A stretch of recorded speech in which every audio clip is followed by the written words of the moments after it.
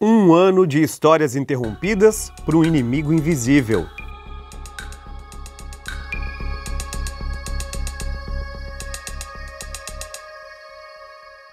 Doze de fevereiro de 2020.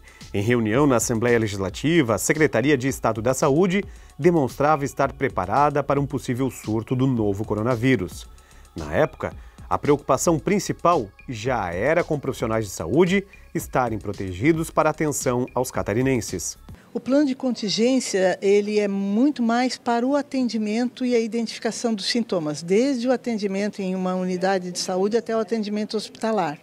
Ele organiza toda a atenção, organiza as equipes de saúde, porque a equipe de saúde, quem cuida não pode adoecer, tem que estar ali também uh, preparada e nos organiza na parte de aporte de insumos para os serviços, enfim, dá um preparo né, logístico todo. Uma pandemia sem precedentes. Tudo começou com o primeiro caso suspeito descartado no Alto Vale do Itajaí em meados de fevereiro de 2020. Não demorou muito para que as primeiras contaminações fossem confirmadas em Santa Catarina. No final de março do ano passado, o que era temido aconteceu o estado registrou a primeira morte por complicações relacionadas à Covid-19. Hoje, esse número beira a casa de 9 mil mortes pela doença e mais de 700 mil catarinenses infectados. E o que lá atrás ainda era desconhecido, hoje é motivo de colapso no sistema de saúde pública e privada, com efeitos na educação, assistência social e econômico de Santa Catarina. A vida das pessoas mudou.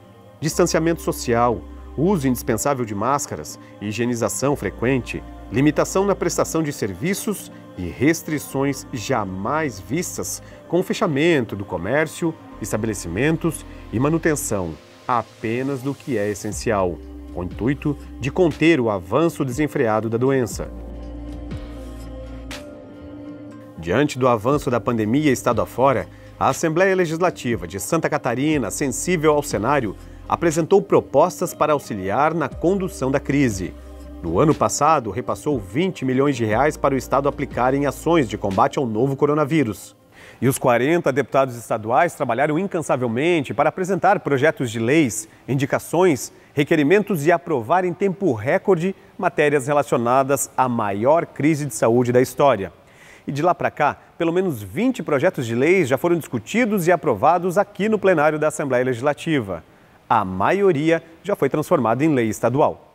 Com a chegada da vacina no Brasil, grupos prioritários foram pré-estabelecidos, mas surgiram pessoas que se aproveitaram de cargos e funções para quebrar a regra e ficaram conhecidos como fura-filas.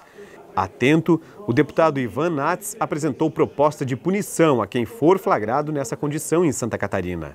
O projeto de lei prevê sanções como impossibilidade de receber segunda dose antecipada, restrição em contratos com o poder público e benefícios fiscais suspenso por até cinco anos, proibição de ingresso no serviço público, além de processos administrativos e demissão. Uma multa também está entre as punições. A matéria tramita em caráter prioritário. Isso é importante, por quê? Porque se o Estado não ficar vigilante, se o Estado não cuidar, se o Estado não acompanhar o cumprimento é, é, exato da fila de vacinação e não punir severamente aqueles que furarem a fila, nós permitiremos a operação de um mercado negro na venda das vacinas e um favorecimento a uma classe de pessoas em detrimento a outra, o que é inadmissível. Mas para que essa lei seja prática, é necessário ter controle mais efetivo de quem foi vacinado e quem está na lista de prioridade. É aí que entra a importância de outro projeto de lei que também tramita no parlamento catarinense em caráter prioritário. O deputado Felipe Estevão quer assegurar mais transparência na aplicação dos imunizantes.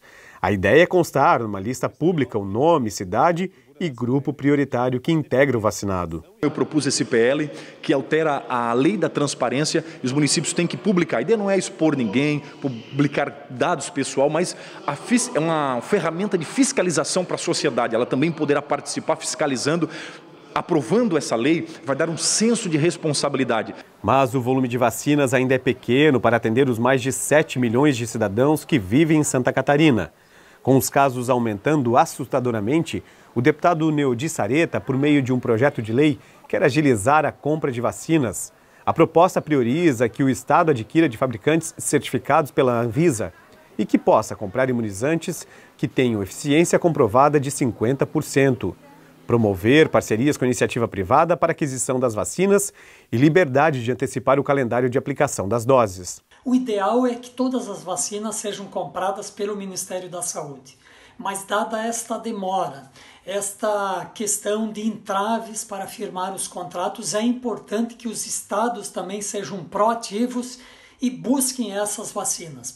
Já com a necessidade de adquirir vacinas e evitar os altos custos de imunizantes, o deputado Milton Obos defendeu com o projeto de lei isenção de impostos para a importação de insumos e das vacinas como um todo. A ideia é não onerar ainda mais o sistema público e privado de saúde, já colapsado pela intensidade da pandemia, que avança numa onda crítica em Santa Catarina. Nós aqui em Santa Catarina temos que criar esses instrumentos facilitadores. Por isso nós propusemos é, um projeto de lei que visa é, a não cobrança dos impostos do ICMS, os impostos estaduais, sobre a importação de vacinas ou insumos para as vacinas.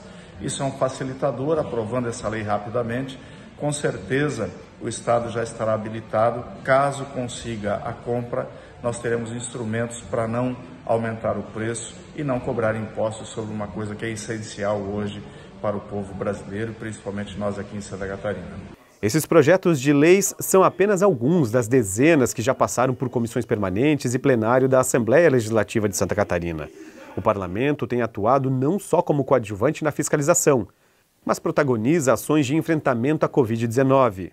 A intenção dos deputados estaduais é reduzir ao máximo os impactos da crise, mas também evitar o aumento de cenas como as que têm chocado o país onde pessoas aguardam atendimento de urgência, pedem por oxigênio e superlotações de UTIs, que só aqui no estado já está em quase 100%.